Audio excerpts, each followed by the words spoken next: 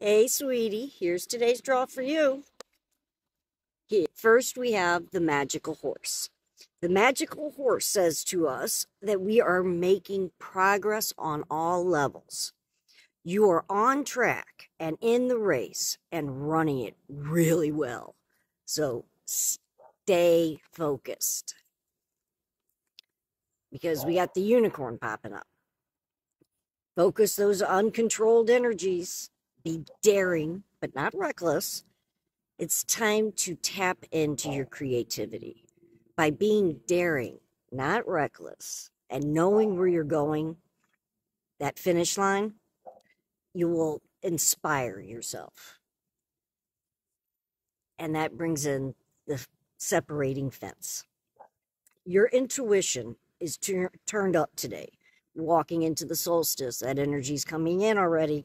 So listen to your inner voices today, the guides. The fence is only a symbol of the illusion that separates us from one another here on earth. The, lift the veil and see the truth. The truth is behind it all. Listen to your guides and teachers, meditate, and use your intuition. Hear and understand the knowing words of Rodney Atkins. If you're going through hell, keep on going. Don't slow down. If you're scared, don't show it. You might get out before the devil even knows you're there. So as we walk into the solstice on the on the 21st, 22nd, we have a bunch of light coming in. Light when shines on us, our shadows show. Control the uncontrolled energies get that monkey brain in control. Either you control it or it controls you. Do not allow your past self, the one you've grown out of, to screw up your present and future self.